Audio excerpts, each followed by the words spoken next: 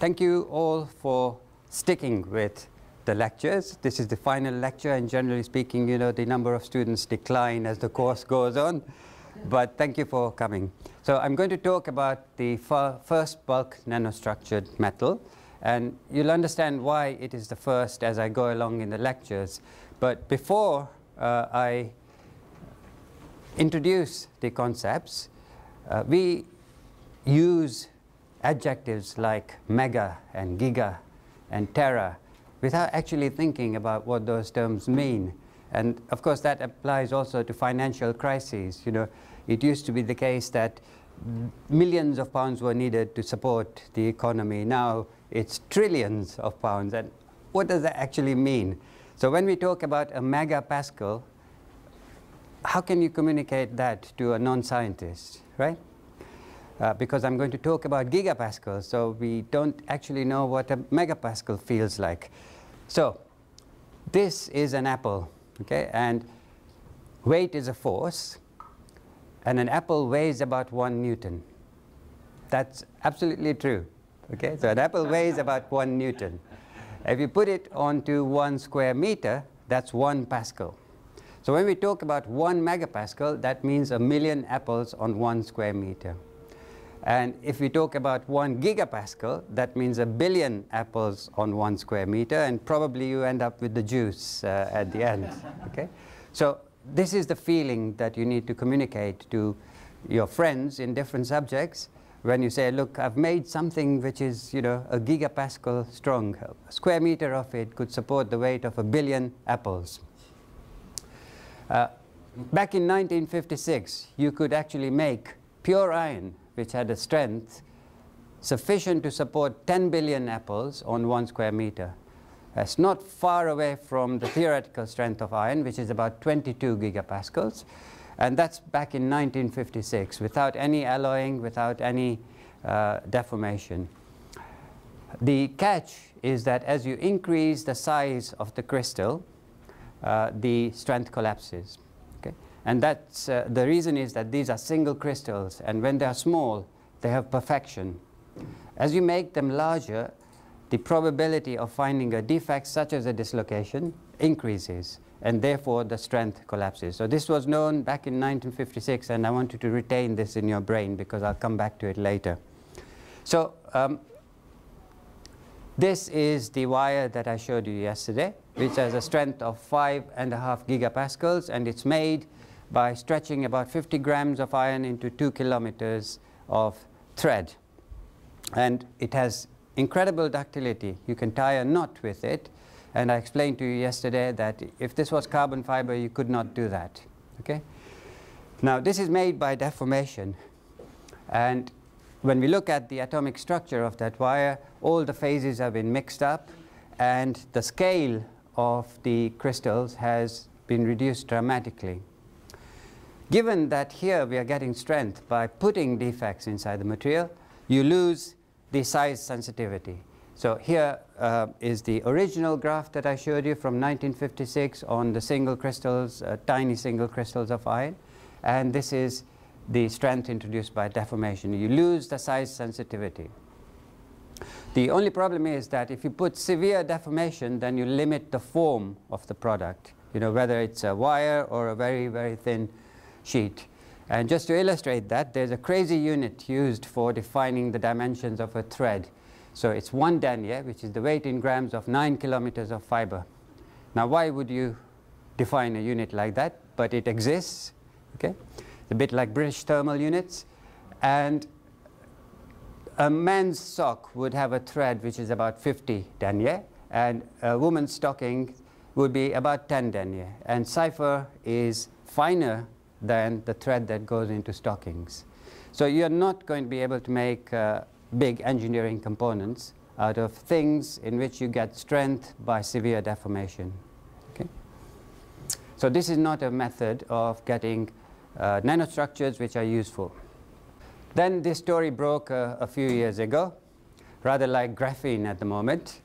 Uh, and you know, have a look at the journals in which this is published, Acta Astronautica. So carbon nanotube, this is a carbon nanotube, has a strength of 130 gigapascals. Okay? And the modulus is six times that of iron. So, you know, this is the stuff that dreams are made of. 130 gigapascals and uh, 1.2 terapascals of modulus. Uh, so there was an old Russian comic which proposed that the best way to go into space is actually by building a space elevator. And for that you need a rope which is 120,000 kilometers long and therefore it has to be able to support its own weight. And before carbon nanotubes there was no material that could do that. Okay. So there were lots and lots of stories about space elevators. NASA sponsored a program. There are people here from NASA, right? Yeah? Uh, or your group. your group leader is from NASA. Yeah, so they sponsored programs of $17 million uh, on space elevators. And students were going around in the department saying, you know, 10 times stronger than steel and so forth. So that raises a red flag to me. Whenever someone compares something with steel, they are trying to exaggerate their claims. so basically, elementary thermodynamics, which I explained yesterday, tells you that uh, the free energy consists of two terms. One is enthalpy, and the other is configurational entropy. This term opposes the formation of a defect. So let's imagine that the small delta G is the enthalpy change when you form a defect. So this opposes it because you are increasing the energy of the system. On the other hand, this favors the formation of a defect because as soon as you put, say, a vacancy inside a cluster of atoms which doesn't have a vacancy, you increase the number of arrangements possible. In other words, the probability uh, the, the disorder, the entropy increases. So when you balance these terms, you get the equilibrium number of defects, equilibrium number of defects. That means there's, they're not there accidentally, they are there because equilibrium demands it, uh, will, will be a function of the free energy of formation of that defect and will depend on the number of entities you have inside your sample. In, in the case of a carbon nanotube, the number of carbon atoms. So when you use that calculation, you can show that you cannot scale the properties of a carbon nanotube, right? It's fundamentally impossible. And if you look at the literature, beyond a two millimeter size, there is no carbon nanotube which can beat steel. Okay? So I sent this paper to NASA, in fact, and you don't hear about space elevators anymore. Okay? Because go back to 1956. If you have a perfect sample and you scale it up, you will get defects. And defects will compromise the strength of a perfect sample. Same applies to graphene. Yeah? So there was a story in Nature recently of graphene being fired at by tiny silica particles. And then they extrapolated that to body armor.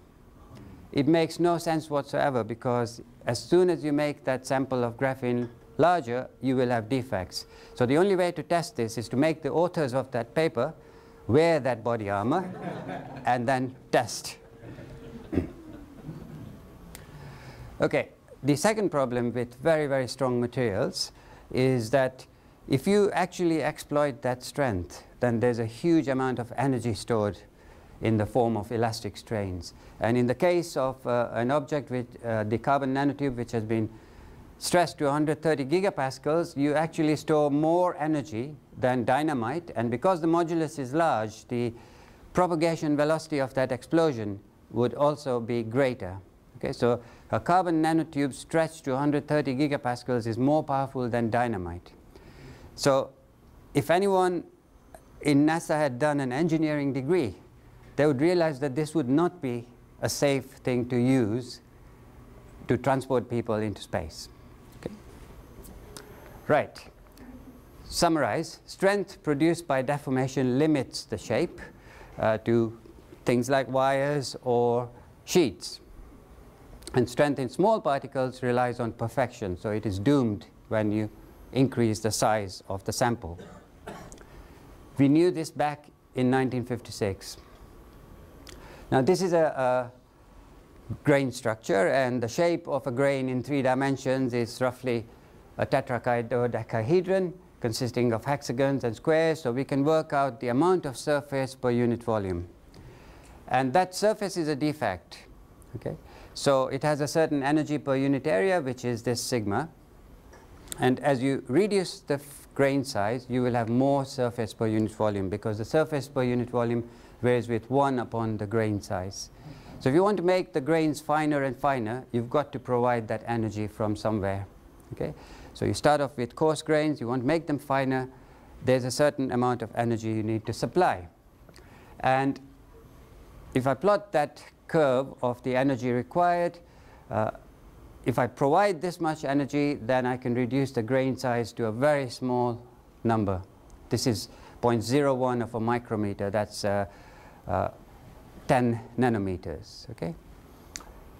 The trouble is, uh, if you look at all thermomechanical processing that has been done in industry, and this is a way of producing bulk samples in hundreds of millions of tons, where you hot deform steel in such a way that you don't allow recrystallization to happen and you get extremely fine ferrite grains on transformation. So this is a process which serves humanity very well. You know, there's about 40 billion tons of these steels in service without anyone noticing it because they are so reliable.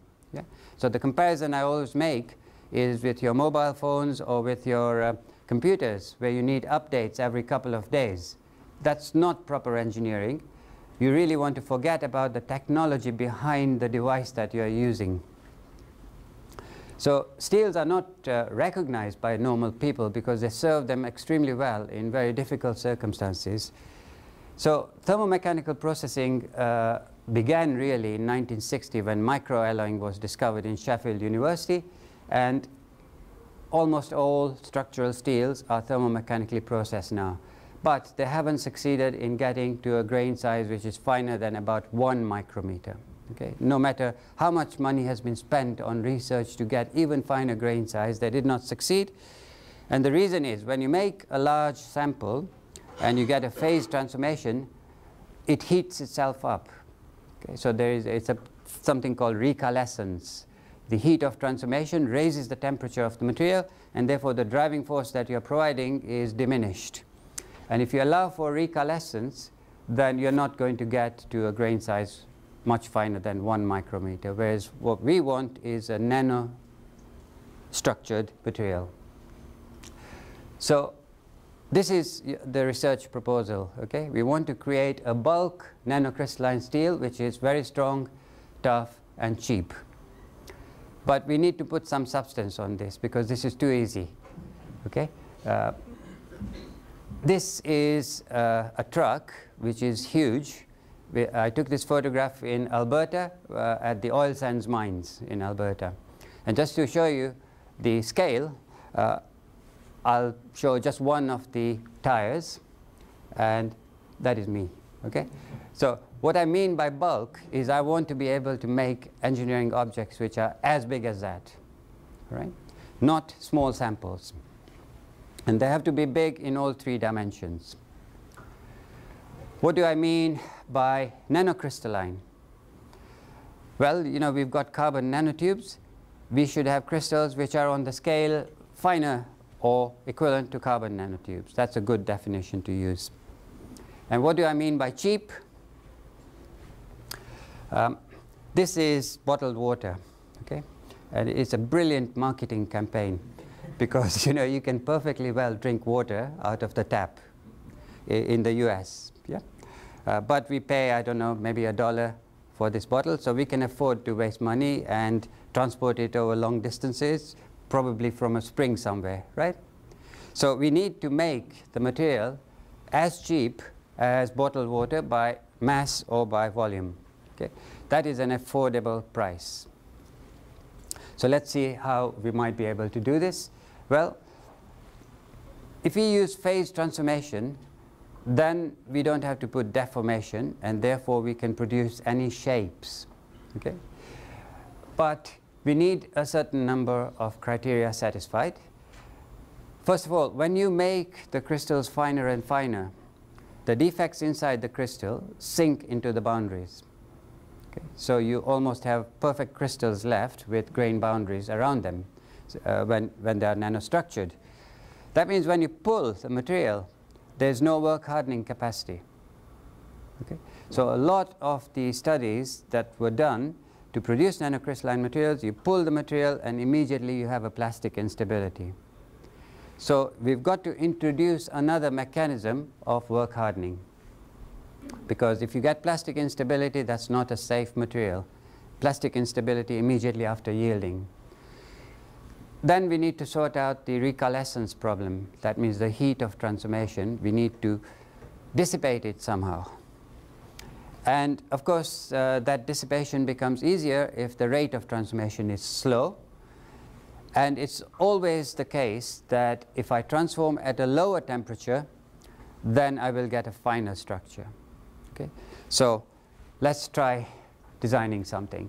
Now, this is a transformation in which you start with a certain arrangement of atoms, and then without breaking any of the bonds, you redefine the unit cell and therefore you get a large deformation. Okay? And remember that this deformation happens inside the bulk of the material. So we are pushing against all the surroundings. So that causes elastic strains, and that strain energy is very large. It's of the order of 600 joules per mole, which is much greater than, for example, a diffusional phase transformation where you just need 10 joules per mole. So if you choose a transformation product which has a displacive mechanism, then you will not get recalescence because the enthalpy change of transformation is dramatically reduced. Okay? And just to show you that this is not uh, imaginary, this is a movie where we're watching the surface of the steel and you will see crystals of bainite growing. There's no etching involved. These are actual physical displacements produced by the transformation, and they are very large, the shear strains of the order of 0.26. So if we exploit this, then we are doing well. We will get rid of the problem of recalescence. Okay, so this is a, a, an atomic force microscope image of a crystal of austenite transformed into bainite, uh, and you can see the massive upheavals here. So you can measure those quantitatively and show what the strains are. Now this is the mechanism of the bainite transformation where initially bainite is precisely the same as martensite. There is no diffusion involved, but the carbon then escapes into the surrounding austenite and precipitates as cementite. This is no good for high strength steels because when you get to strength levels of the order of gigapascals, the cementite itself is a brittle phase and can compromise the strength. Of course, it's different when you're drawing wires because it's a, effectively a compression that you're doing. But in a structural material which is subjected to complex stresses, cementite can cause premature failure. And I explained in the last lecture that we can stop this by adding silicon to the material, and we end up with a nice mixture of just uh, ferrite, bainitic ferrite, and carbon-rich austenite. And the advantage of having that austenite is that under the influence of stress or strain, it will undergo a martensitic phase transformation and add work hardening to the material. So it's a classic method of enhancing the work hardening capacity and avoiding early plastic instability.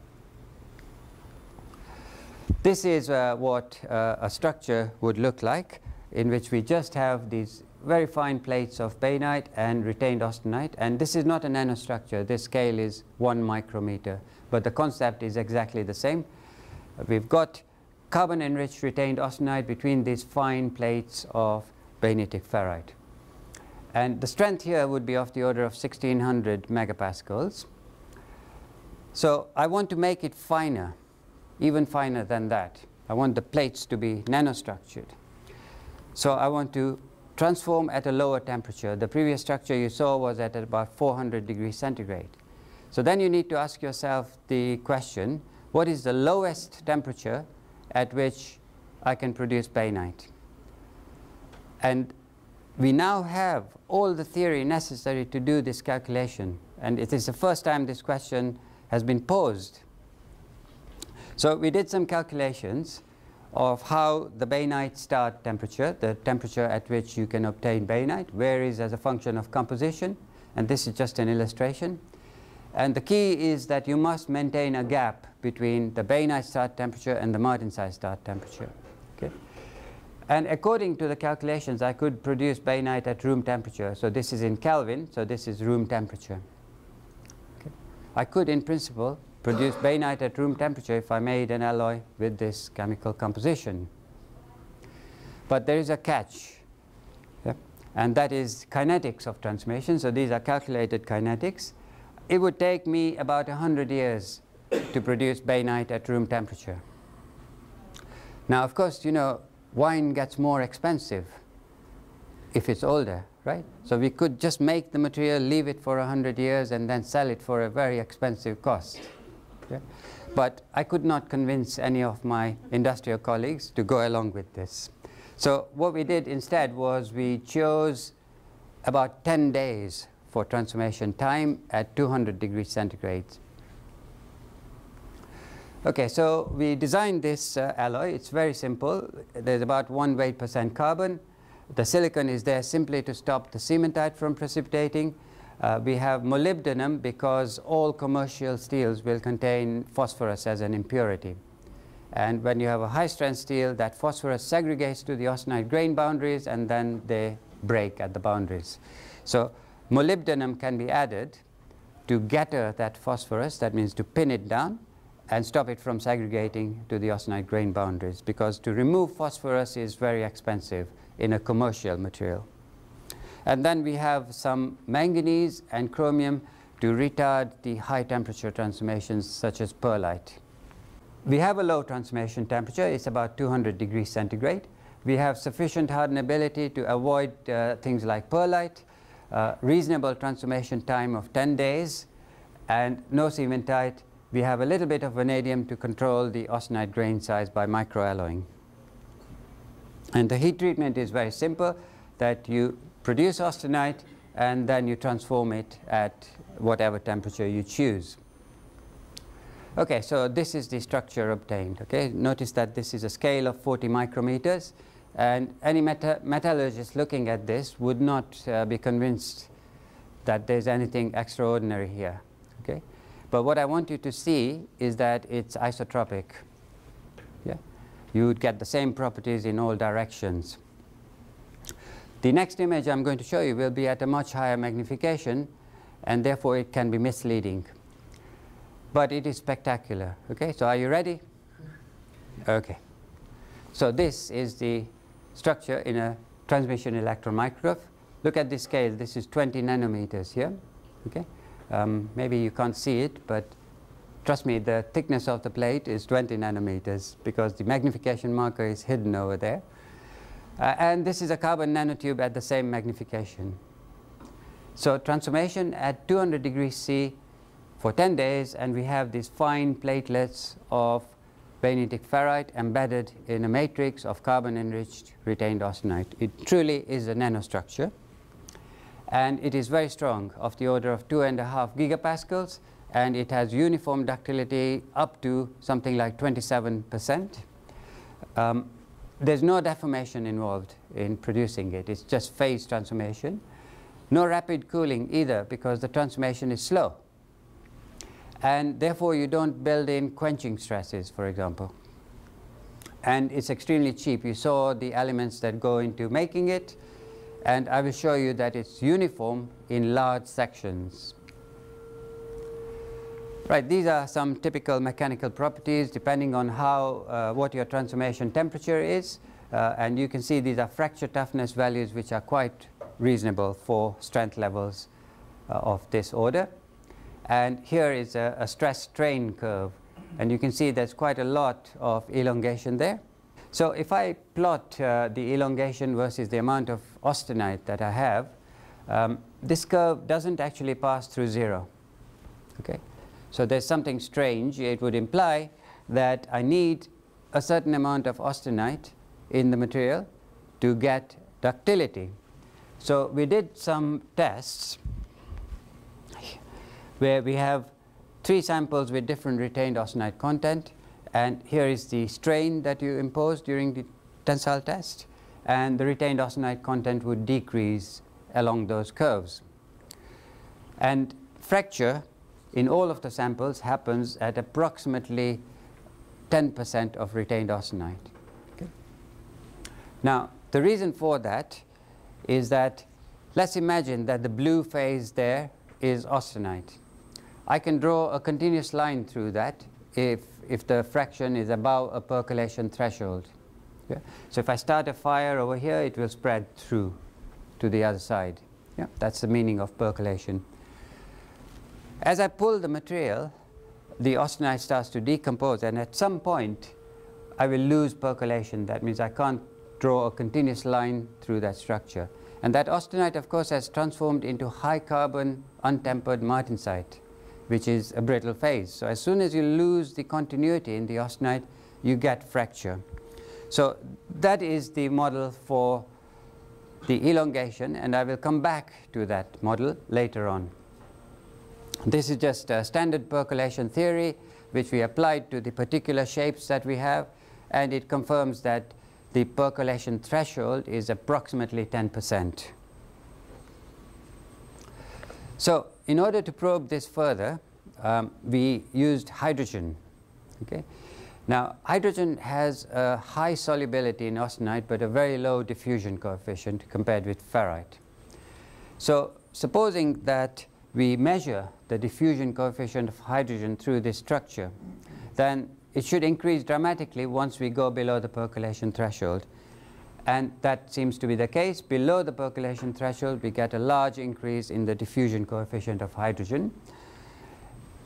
And of course, it's not just the volume fraction, but the shape that matters. Because if I take another sample in which the austenite is not in the form of percolating films, then I get a large diffusion coefficient. Okay? So this structure is good in preventing the penetration of hydrogen into the steel during service. The material is now being used uh, and produced commercially for a number of applications. Uh, I will also show you some features which limit its applications in commercial life, but for the moment this is a commercial product where this is an armor and I'll show you the properties of that armor later. This is a, a device produced in Spain for crushing uh, scrap metal. And my colleagues uh, in Spain and elsewhere in Europe are also working on these fuel injectors for diesel engines where they require much greater strength because they want to increase the pressure inside the engine. The armor uh, properties you measure by something called ballistic mass efficiency, where you take the mass of ordinary armor to defeat a given threat and divide by the mass of a test material to defeat that threat. So effectively you are taking account of density here.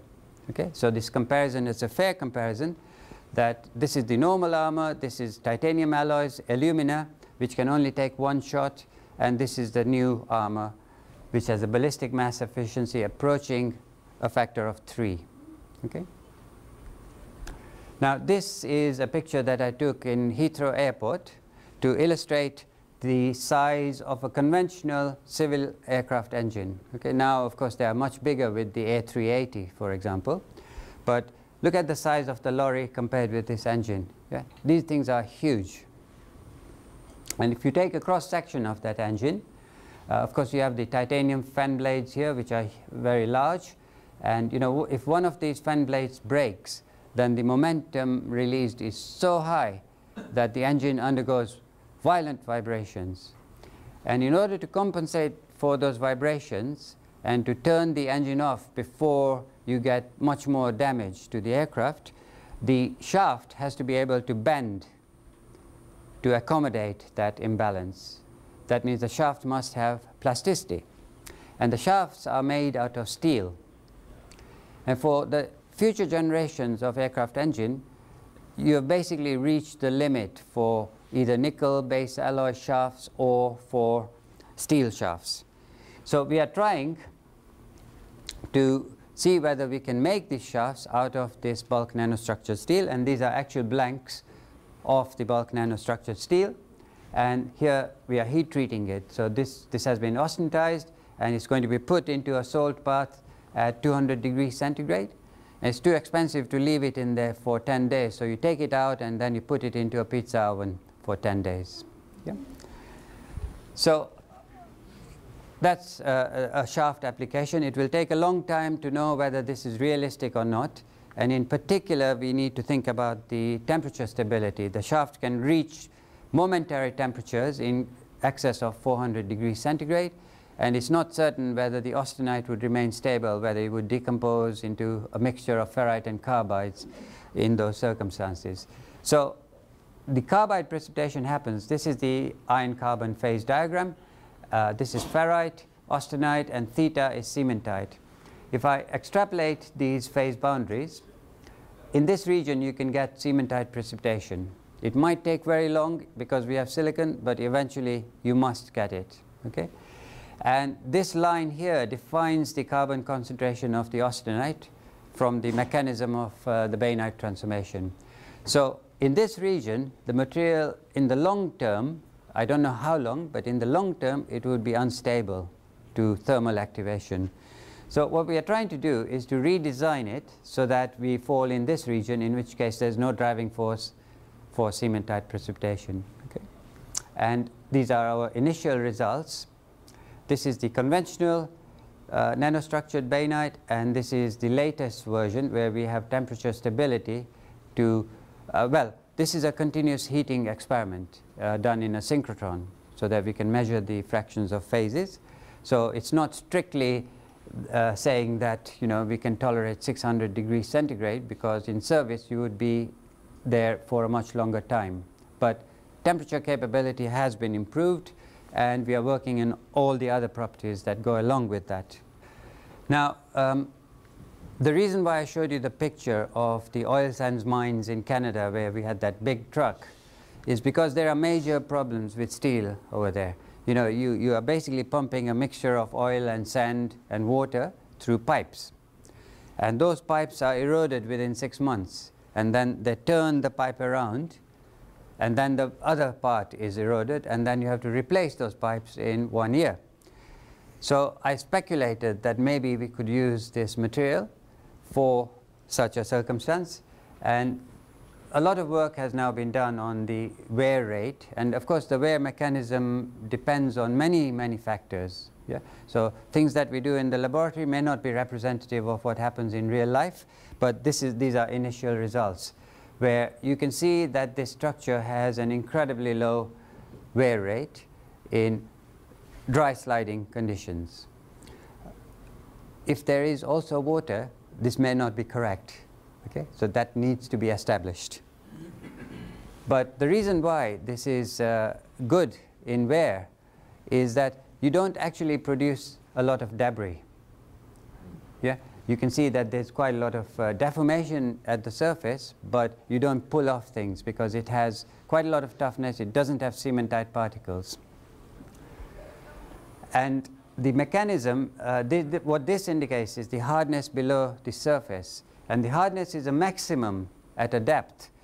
What that indicates is that the sliding is not actually uh, important. It's the rolling that is important because it's producing a stress under the surface as in bearings. And you can do calculations to show that the stress is at a maximum below the surface and the depth of that hardness peak corresponds to the depth in this calculation. Uh, we knew actually that these materials are good in wear uh, about 15 years ago, when we designed the lower strength variant, you know, which wasn't nanostructured but had a scale of one micrometer and a strength of 1600 megapascals.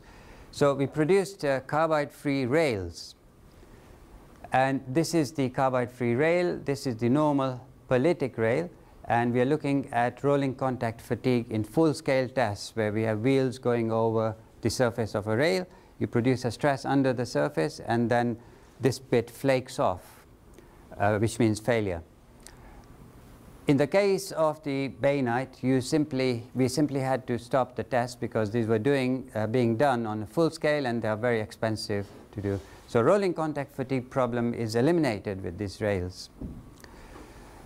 Here we have the wear, wear rate and you can see that this is the only structure which reduces the wear on the wheel as well. Yeah? All the others, if you improve the properties of the wheel, you make the properties, uh, sorry, if you improve the properties of the rail, you make the properties of the wheel suffer. Okay? And um, I, I also have a picture somewhere of a track in the USA, a test track, where they continuously run heavy trains uh, with the bainitic rail and the normal pearlitic rail, and you can see that the damage is a lot more with the pearlitic rail. Okay. Dr. Zaretsky. okay, he's our bearings man. Um, I, want to illustrate to you uh, the technology of bearings very briefly. Okay, uh, so these are incredible objects. You know, they take such a lot of pain, and yet they serve uh, us very well. You know, you could argue the world rotates around bearings. Okay, in your house you will have approximately 300 bearings.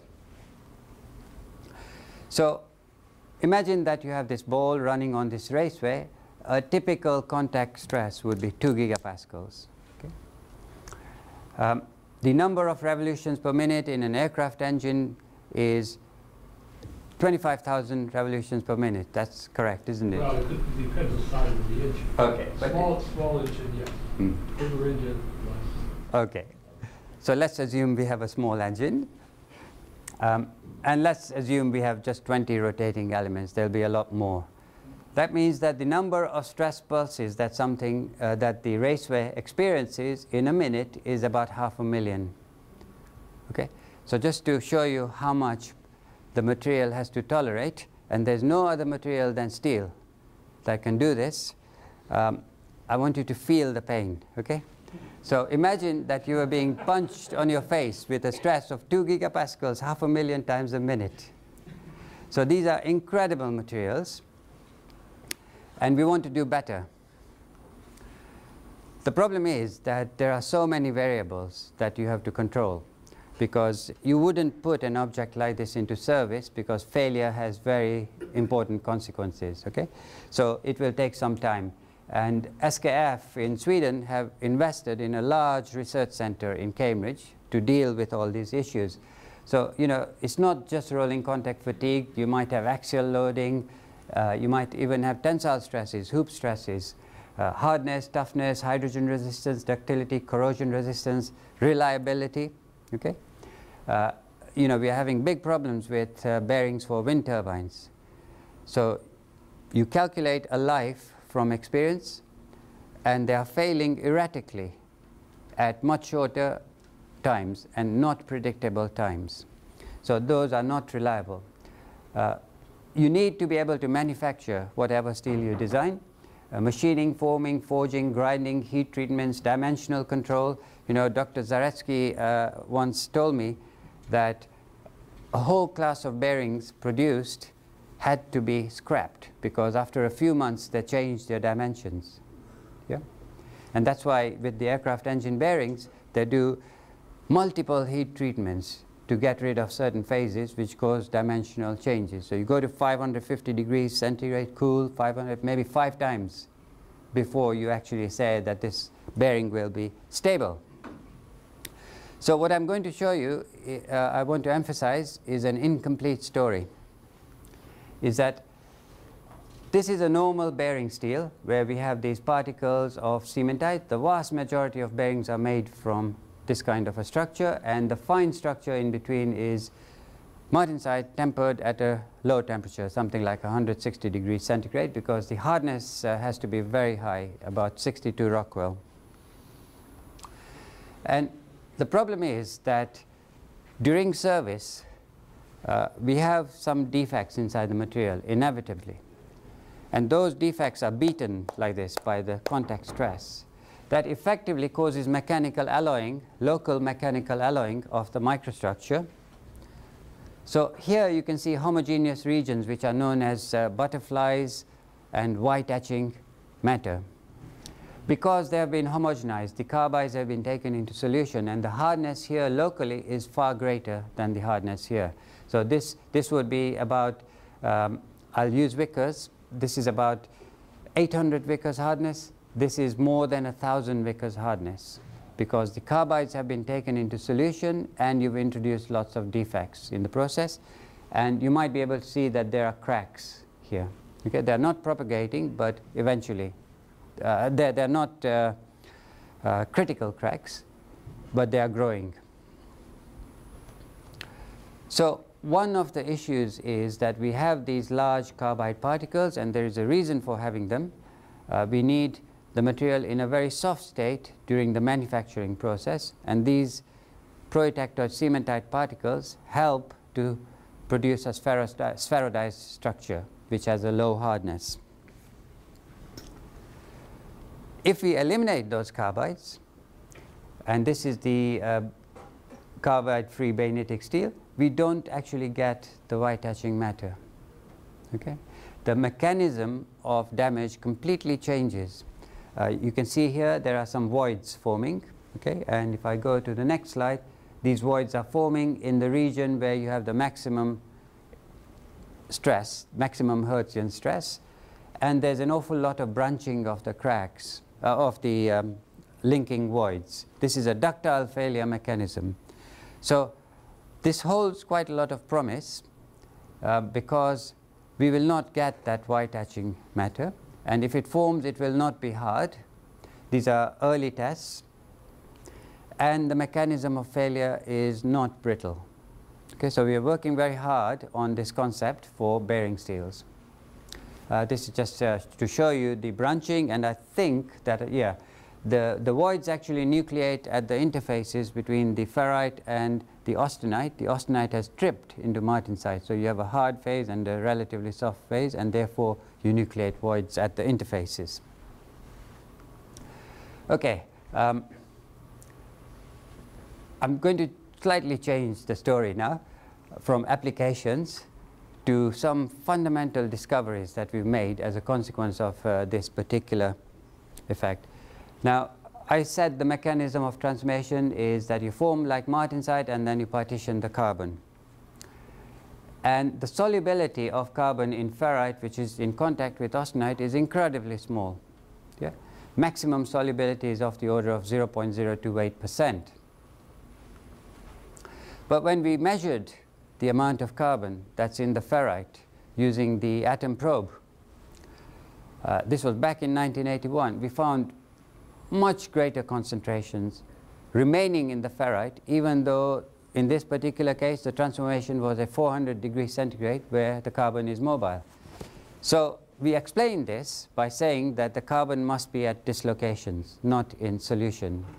Yeah? Because it, it is beyond uh, my imagination to say, look, the solubility is 0.02, we are detecting much greater concentrations, therefore it must be at Cottrell atmospheres. Okay, and there are plenty of dislocations in the structure, so that's a reasonable interpretation. Until this lady came along, okay?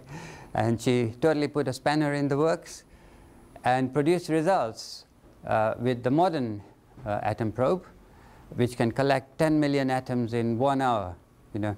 Whereas the instrument that I used in 1981, we collected about a million atoms over a period of three days. So basically what she showed is that yes, of course you have, uh, you have um, carbon at dislocations. That's natural. But she also looked at the regions of the lattice where you do not have defects and found that you have enormous concentrations of carbon, well beyond the equilibrium concentration. And I could not sleep when I saw this result. Yeah? Nothing to do with coffee. I could not sleep because it does not make sense. So I asked uh, my colleagues in Korea, uh, for, first of all, these are the experimental results. Look, look at the concentration that remains even though we are holding at 200 degrees centigrade for 10 days. Okay? Carbon can easily diffuse at those temperatures. So against all expectations, we have a huge excess of carbon in ferrite, and it stays inside the ferrite in spite of the heat treatment, which, in, which is long and at 200 degrees centigrade.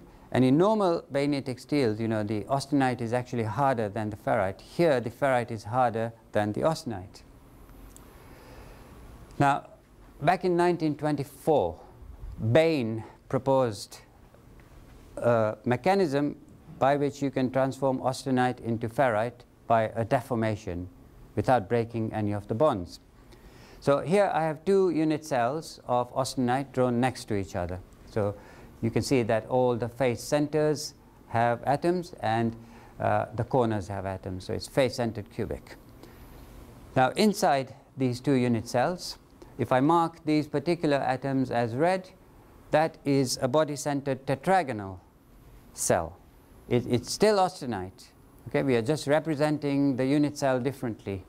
You can define an infinite number of unit cells for a periodic array of points. So it's not reasonable. Uh, we, we, we should really define the cell consistent with the symmetry of the structure, but there's nothing wrong in calling austenite body-centered tetragonal. So now it becomes very clear how you could change austenite into ferrite. All you have to do is compress along this axis and expand uniformly along those axes. And you've got a cubic structure. That's called the Bain strain. I think it was a brilliant piece of uh, work by Bain because don't forget that the fact that austenite uh, has a face-centered cubic structure wasn't known until X-ray diffraction, uh, the Bragg law was produced by you know, the Braggs and that was very, uh, very close to 1924. I can't actually remember when the Bragg law was invented, but 1914. 1914 thank you. Hmm. Okay, so a diffusionless transformation will lead initially to a body-centered tetragonal ferrite. Okay, and the carbon atoms that are in the austenite, sorry, carbon atoms that are in the austenite, whether they are on this edge, this edge, or this edge, they all end up just on the vertical edge. So the important point is that initially the, uh, the ferrite will be tetragonal. Later on, the carbon atoms might rearrange and make it cubic if you are above the ordering temperature. But initially, it must be tetragonal. So it occurred to me that maybe we are looking at the iron-carbon diagram incorrectly because that's equilibrium between cubic ferrite and austenite. What if we had equilibrium between tetragonal ferrite and austenite? So I asked my colleagues um, in um, Korea to do a first principles calculation of the iron-carbon phase diagram where we have tetragonal ferrite. All right, so this is the solubility of carbon between cubic ferrite and austenite, and you can see it's very small. But if you make it tetragonal, the solubility actually increases dramatically. Okay? Now what that means is that if this is an equilibrium phase diagram between tetragonal ferrite and austenite, there's no tendency for some of the carbon to escape into the austenite. And that explains why, you know, the partitioning of carbon doesn't go to completion relative to the ordinary iron-carbon phase diagram. Now, of course, this is a first principle calculation, and in strictly speaking, there are no approximations, but in fact there are. Okay? So we need to do some experiment to validate this. So we put the material into a synchrotron. This is a, thermomechanical simulator, but we are only using heat in this case. And we warm it up. And the purpose of using synchrotron is that you, you have very high energy X-rays, so you can go through a large amount of material, uh, you know, a millimeter or half a millimeter and get very high intensity signals. That means the signal to noise ratio becomes small. And sure enough, um, so this, this is uh, going up in temperature here. Uh, it's time, but it's going up in temperature.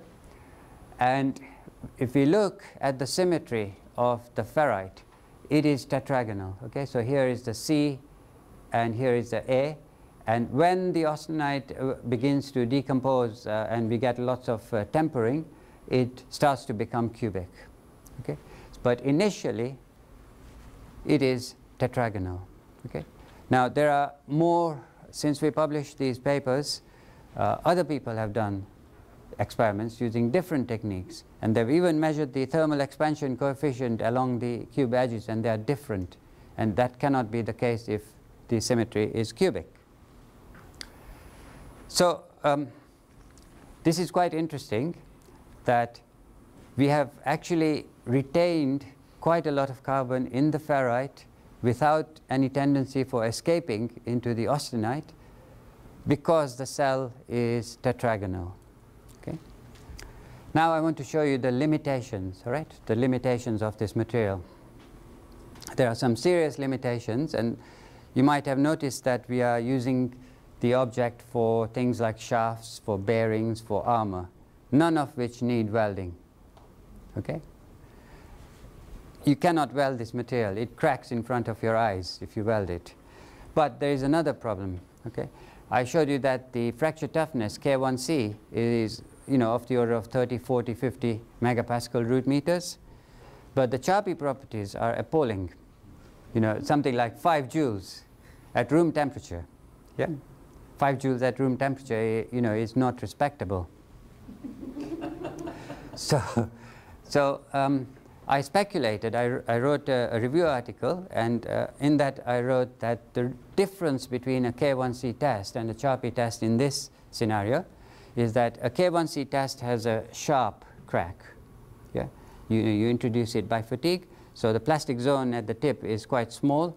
So if the austenite undergoes transformation to brittle martensite, it doesn't matter too much because it's still got all the nice matrix around it.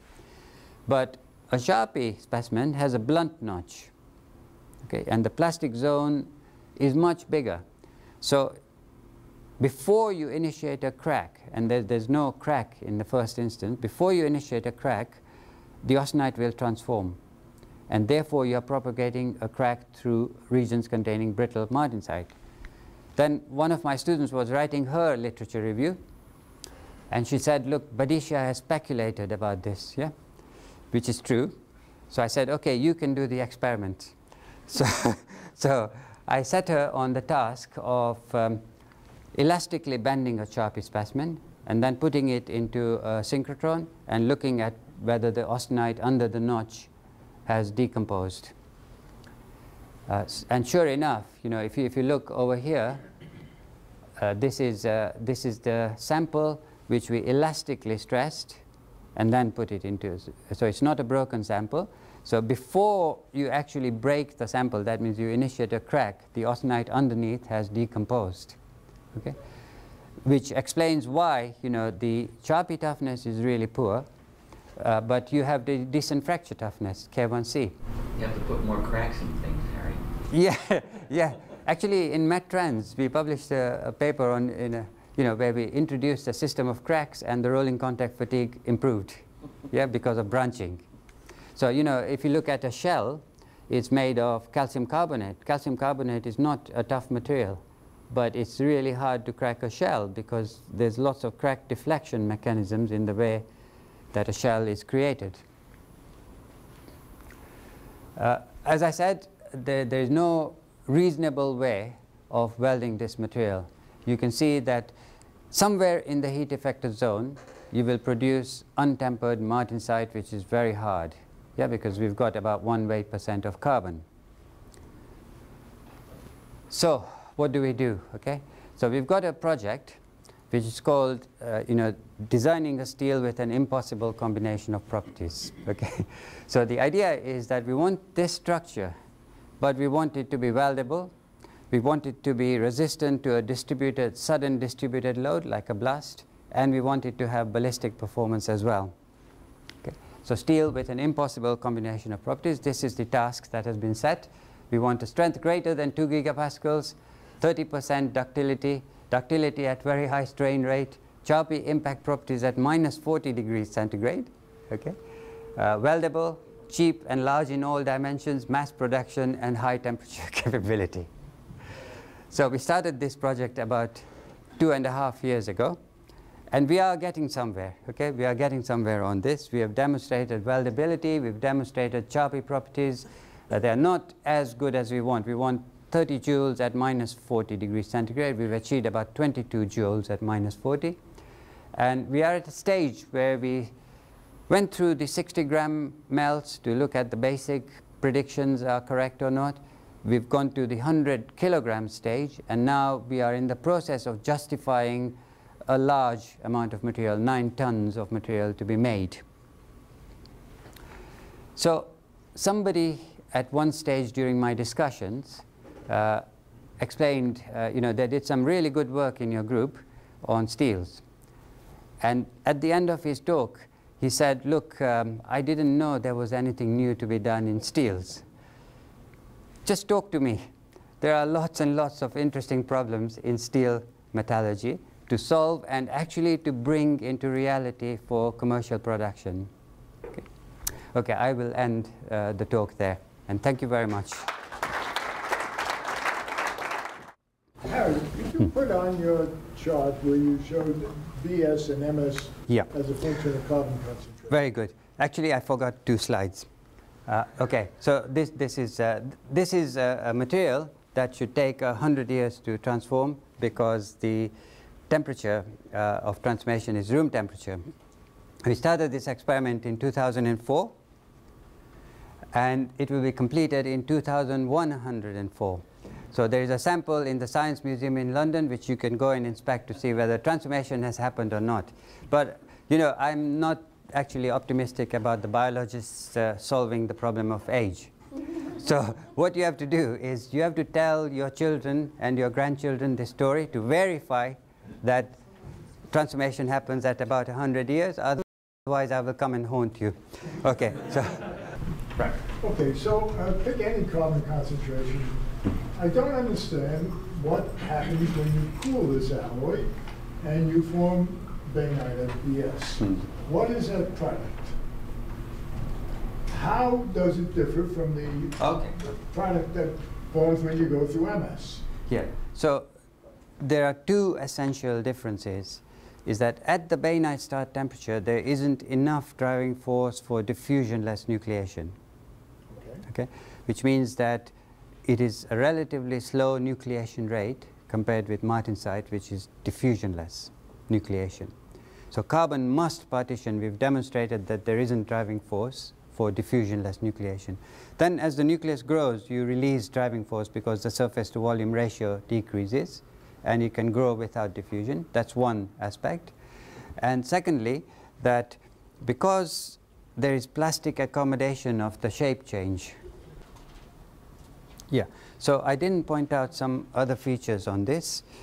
Uh, this is the, the shear deformation, but notice that the austenite adjacent to it is plastically relaxed.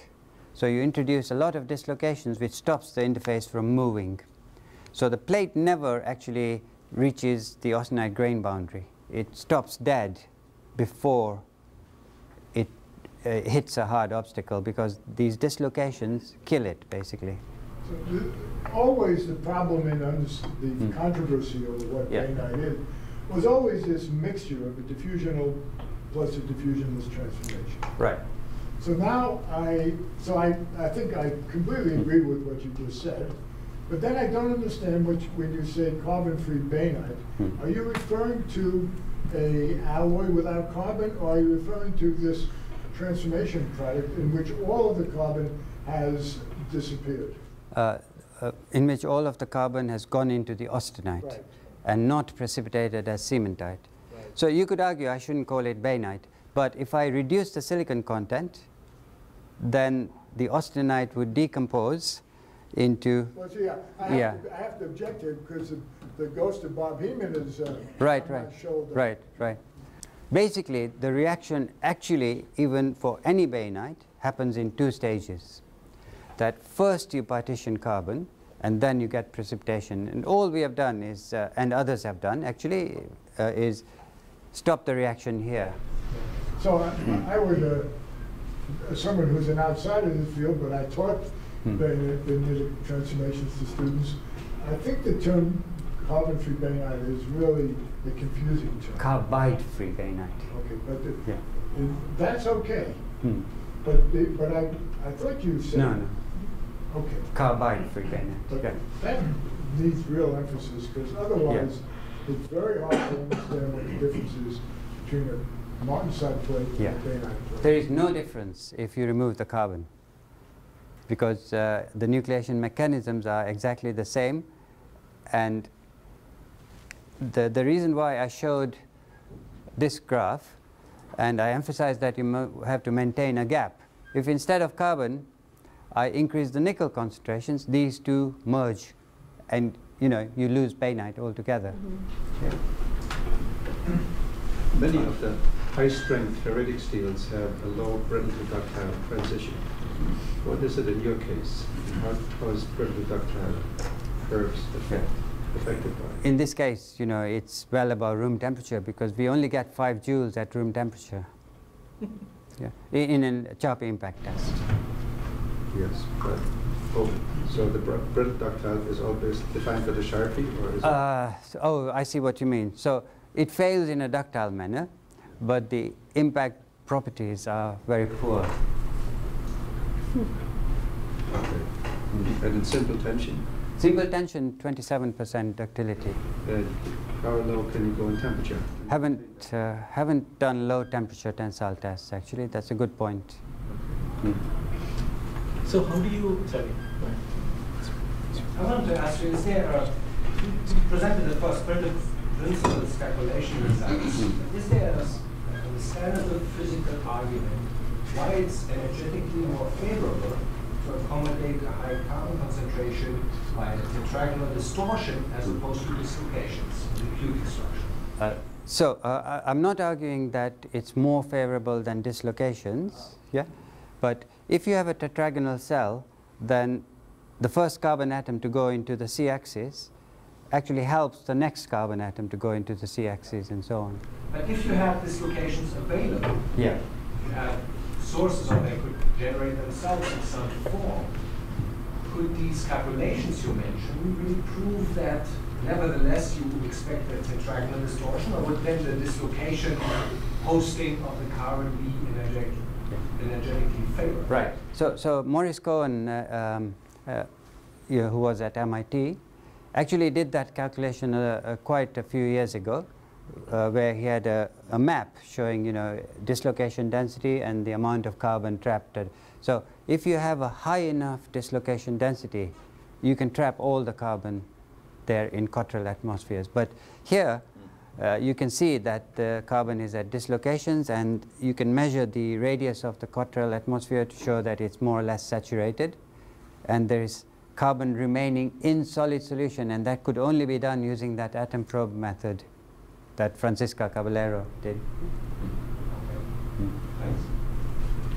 Ah, sorry. Um, So conceptually, when you go from the gamma to bainite transformation, you should, if you do a continuous cooling experiment, Mhm. uh, you should see that the transformation happens at a certain temperature and then the lattice parameter continues to change as the carbon diffuses out. Right. So, um, As- I mean, that should be a Yeah. complete, uh, de- to me, a definitive yeah. uh, proof of this transformation Sure, happening as a function sure. of that, So, uh, temperature. Yeah. So the problem is, you know, these experiments have been done, but everyone analyzes the data in terms of BCC. So there is a, a paper just published in ACTA by some other people who have looked at their data and found the, the bainitic ferrite to be tetragonal. This, uh, I just got it sent two days ago. Yeah, so I, Measured the tra- tetragonality in Yeah. the electron diffraction pattern? sorry? In the electron diffraction pattern? Uh, so what they did was lattice imaging, and they could show that along this direction the d-spacing is different from this direction for the two, uh, for for the same equivalent planes, and they calculated the tetragonality from there, and they also had some old X-ray data, which they reanalyzed, because you know we all assume that bainitic ferrite is cubic. Uh, It's exactly like, you know, your austenite. Yeah? I mean, it could be BCC, but your lattice parameter change should be uh, should be different depending on the carbon content. Right. So, I mean, it could go either way, right? I mean, Yeah. and, right, then you, it should be definitive in that way, whether it's BCC or BCT, if you do Hmm. high temperature XRD experiment. So let me just point out one, one thing why it's a very difficult thing to do. Yeah, so if you, if you take your normal steel and you're plotting an X-ray diffraction pattern, yeah, mm-hmm. and let's say this is the 110 peak. Mm-hmm. Yeah. These structures have a lot of strain. The peak is actually like this. It's, it's exactly like the X-ray diffraction patterns that you showed, you know. So you really need to look at the asymmetry of the peak using, you know, analysis. Yeah. It is Mm. possible interpretation. Yeah. Mhm.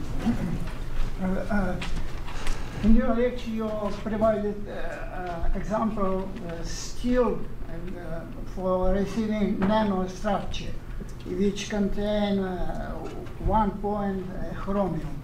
Is it possible to receive this microstructure for plain carbon steel? I don't think so. I tell you why. Because the transformations become fast, and you know to prevent the pearlite transformation, ferrite transformation, or cementite formation at high temperatures, you need a certain amount of hardenability, especially for a large object. Yeah. So the chromium and manganese were to retard those. Yeah, yeah. So it'd be interesting, following up on Gerhard's comment, that it'd be interesting to do a head-to-head comparison. Hmm. Steels, since they're widely used, and either the low-carbon, carbide-free bainitic rail Mhm. or the new stuff. Right. That would be very useful, just to do the head-to-head. Ductile to brittle transition, depending on however you compare it, Hmm. tension and then Charpy. Yeah. Because I think you find that the pearlitic steels have a very poor impact toughness also, Yeah, yeah. even at room temperature. Hmm. So it'd be interesting to compare them, and they're used all the time. Yeah, so uh, the rail steel is a lower strength version and definitely has a higher toughness even at a low temperature. But it's a lower strength, yeah. Not that much. So at minus 40 we can get 30 joules in that. Yeah. Mm. What is the hardness of the rail steel? It's about 400 Vickers. In, in Rockwell C, or Luke? Uh, I, I think differently. Depends on the pearlite Hmm. space. so what, what's, it's, it's similar to pearlitic rail. Do you know the hardness of pearlitic rail in Rockwell? Depends on the pearlite spacing, Hmm. the forties, fifties, in that Yeah. range. Okay. Mm. Depends on whether the, how slowly cooled the. Yeah, the pearlite into the Right. Meller spacing. Right. yeah. That's good. Mm. Do you have any other questions? Jim, would you like to? I just, it's not a question per se, but, you know, we talked a little bit at the beginning about this connection between practicality and science. And it, you come to a seminar and you hear a really elegant scientific talk and you go away impressed. And then you hear a lecture where there's a strong connection to practical applications and how to really realize your science. And you can be almost dazzled. But then to hear three talks in a row that build one on each Mhm. other and, even at a higher position at a very elegant start, you have to use the word sublime. And so I think I speak for everybody in the room when I say we're tremendously grateful for your time here and the information that you've delivered to us. Thank you very much. Thank you very much. Yeah. Okay.